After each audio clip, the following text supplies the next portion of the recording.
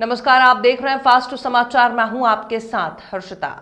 Police अधीक्षक शिवपुरी, अतिरिक्त police अधीक्षक और एसडीओपी पोहरी के द्वारा चलाए जा रहे अवैध शराब परिवहन और बेचने वालों के विरुद्ध चलाए जा रहे अभियान के तहत दिनांक 8 अप्रैल 2020 को थाना बेराड़ में मुखबिर की सूचना पर से बेहरदा सड़क के तिराहे के पास जंगल में दो आरोपी को अवैध शराब से ले जाते हुए इंडिगो गाड़ी में छह पेटी देसी शराब, कुल 300 क्वार्टर शराब, चौवन क्वार्टर लीटर देसी मदिरा, प्लेन कीमती अठारह हज़ार और एक सफ़ेद रंग की इंडिगो गाड़ी जिसका registration number M P zero nine C L one one nine two, कीमती दो लाख पचास हज़ार, कुल मशरका कीमती दो लाख अड़सठ हज़ार रुपए, उक्त आरोपियों से विधिवत जब्त कर आरोपी नीरज पुत्र नारायण धाकड़ उम्र 24 साल, निवासी मगरदा श्योपुर को धारा चौतीस आबकारी एक्ट के तहत गिरफ़्तार किया गया है।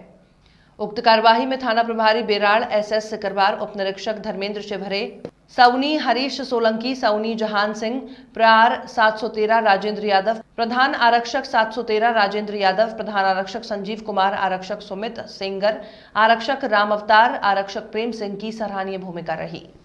जो सर आज शराब पर जो कार्रवाई हुई है जो कहाँ पे पकड़ी थी सर? आज क्या मुझे मुखर द्वारा सूचना प्राप्त हुई यानी करीब दो बजे कि एक सफ़ेद रंग की इंडिको गाड़ी जिसका रजिस्ट्रेशन नंबर है एम पी ज़ीरो नाइन ग्यारह बानवे सफ़ेद रंग की गाड़ी जो मारवाड़ तरफ़ से बैरदा और मगरदा शुक्र की ओर निकलने वाली है। इस गाड़ी के अंदर शराब की पेटी रखे हुए है। उस मुखर की सूचना की तस्दीक हेतु मेरे द्वारा तत्काल पुलिस इकट्ठा कर मुखर के बताए हुए स्थान पर जाकर घेराबंदी की। बैरदा के पास जंगल में हम लोग सब लोग छिप कर बैठ गए होते, बैठ गए थे। उसी समय थोड़ी ही देर बाद यह गाड़ी सफ़ेद रंग की आती दिखाई दी। मेरे फोर्स की मदद से उसको चारों तरफ़ से घेर कर उसको रोका गया। उसी समय उस गाड़ी का ड्राइवर तेज़ी और अति तेज़ी गति से जंगल की ओर भागने लगा। उसका पीछा किया तो उसमें जो बगल में बैठा एक व्यक्ति भीकम थकर, जो नवासी मगरदा का रहने वाला है, वह जंगल जंगल में उबड़ खाबड़ की रास्ता के से होकर भागने लगा। जो वाहन घर चला रहा था, उसको उसको पकड़ लिया। उससे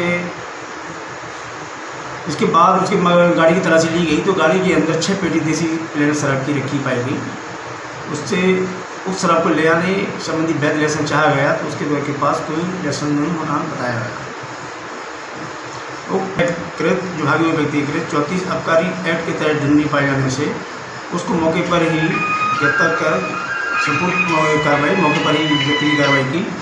जब सुधा वाहन और छः पेटी शराब को लेकर वापस